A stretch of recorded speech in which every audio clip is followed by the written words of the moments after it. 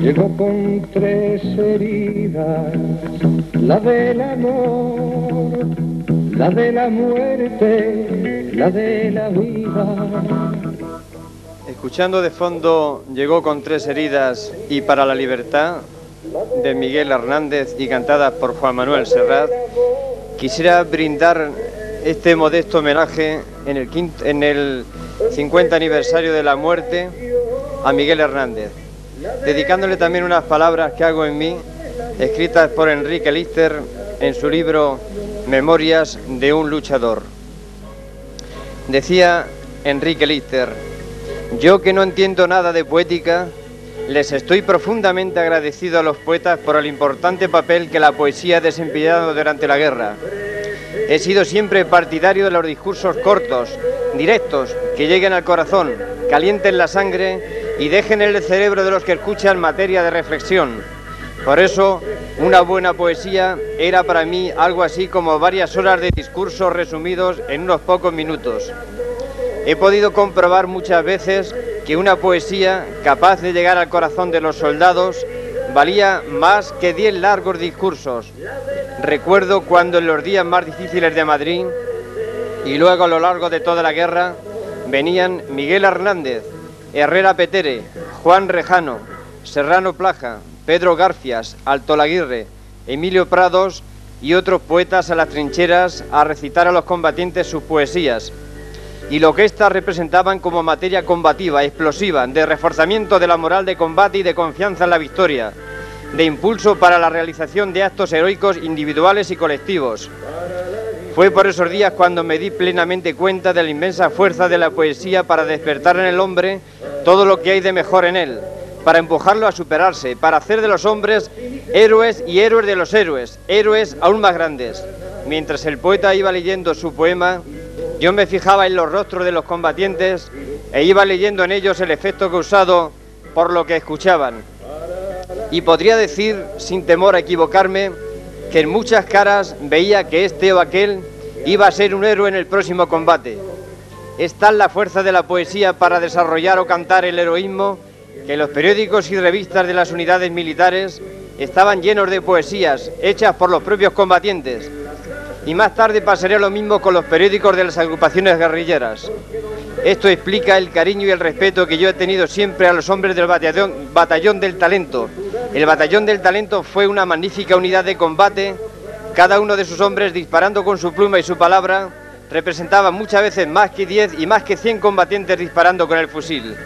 El grupo de combatientes al que soldados y mandos habían bautizado cariñosamente con el nombre de Batallón del Talento lo formaban poetas, periodistas, dibujantes, escultores, choferes y enlaces que llevaban los materiales hasta la primera línea de fuego.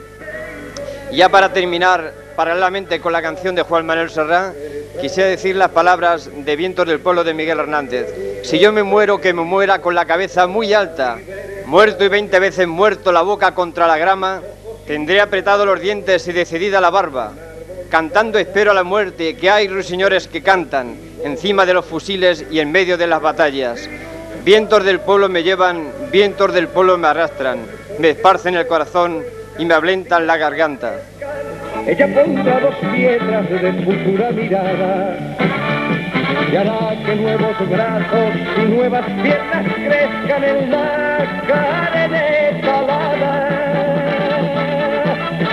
Resoñarán aladas de sabias y otoño, reliquias de mi cuerpo que pierdo en cada herida. Porque soy como el árbol alado que retoño, aún tengo la vida, aún tengo la vida.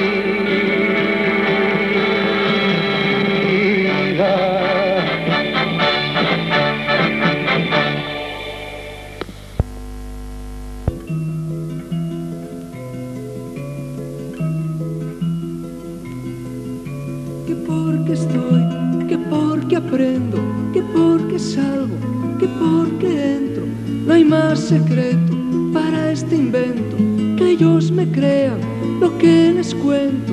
Que si tú subes, que si te bajan cartas marcadas de la baraja, no te lo creas según el viento, se llega al cielo desde el infierno. Ni muy deprisa ni poco a poco, el escenario lo cura todo.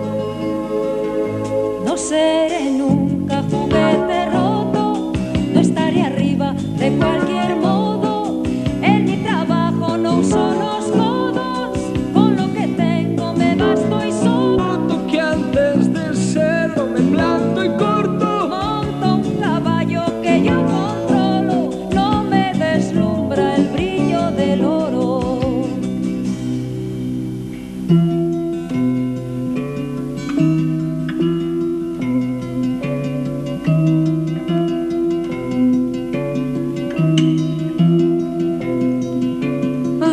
veces hago lo que no debo, nunca me olvido de dónde vengo. Tengo raíces, tengo algún sueño, tantos amigos que nunca cuento. Alzo murallas, me pongo cerco, pero el fantasma lo tengo dentro, siempre dudando, quiero y no quiero, pero el veneno sigue por dentro. Ni muy deprisa ni poco a poco, el escenario lo cura todo.